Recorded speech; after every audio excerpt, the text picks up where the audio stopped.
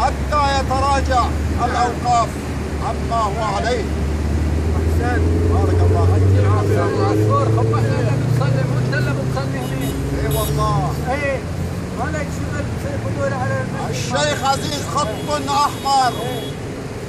لا تتجاوزه يا ابن العصفور. إننا نحذرك.